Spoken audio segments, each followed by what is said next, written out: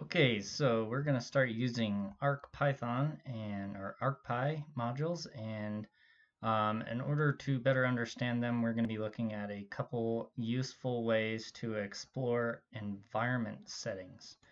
So um, what I've done is I have imported the ArcPy module and then from the ArcPy module I have imported the environment uh, part of it and so a quick way to explore uh, environments for like a workspace is that you can set your environment workspace and then you can do what's called a list environments that apply to this workspace.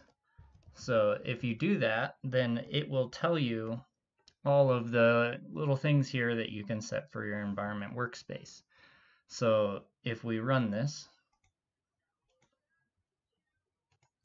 you can see that the environment scratch workspace is there. And this also tells you how to call it.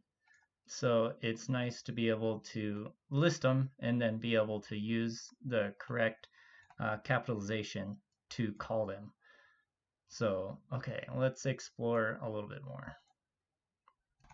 So back in our Python idle, then um, editor, then we'll just um, we'll erase this and we'll just kind of explore. So if you didn't have a clue uh, what this was, uh, I'm just going to leave my workspace set because it's good for this um, script.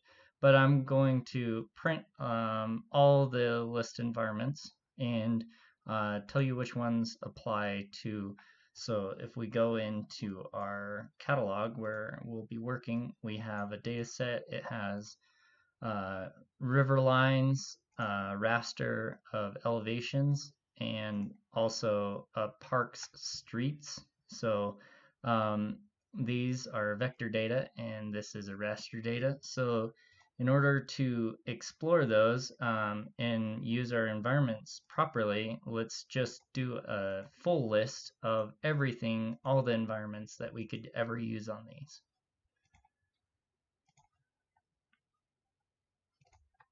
Okay, so in here we've got new precision uh, and auto com comment and or commit and XY resolution. We've got a lot of different options here to um, specify, but some of the main things here, so snap raster is going to be when you're doing a spatial analysis on something for raster data processing.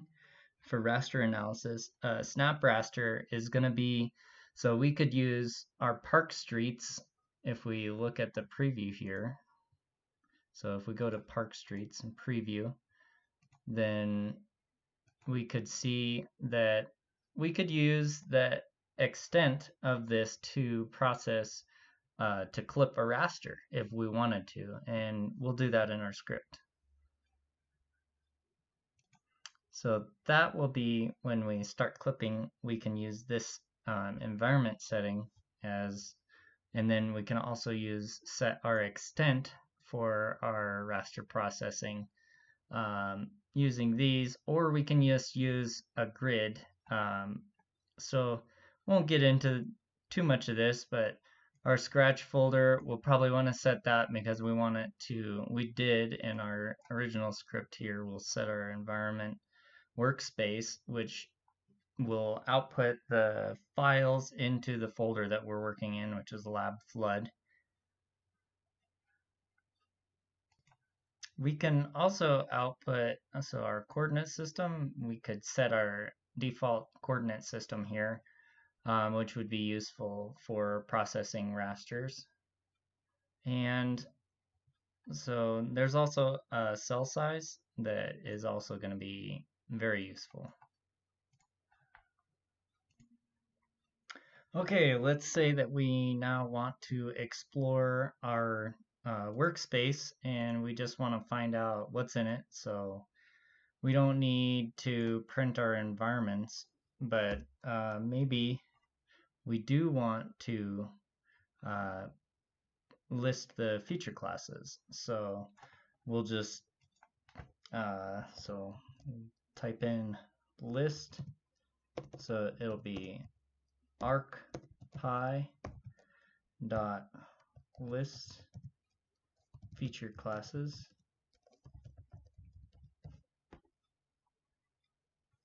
And then so in here if we want to just do a wildcard to list all the feature classes uh, in the uh, in the workspace then we can do that.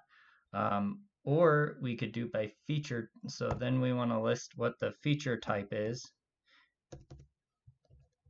and if we wanted to limit it to a feature data set then we could um, also put it in as an option. So let's go ahead and run this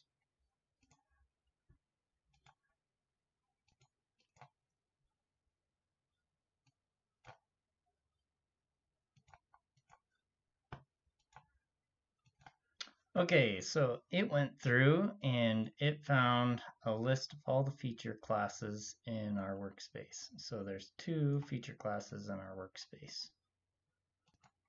So the other thing that you could do with that, actually, sorry, is uh, you can put a wildcard, which means that you're going to limit your search to, so say that you did uh, quote and then the value that you're looking for, then end quote uh, that'll only return the values of the name that you're looking for. Otherwise, you can do by feature type. So you could do by annotation feature, by arc, dimension, edge, junction, label, point, line.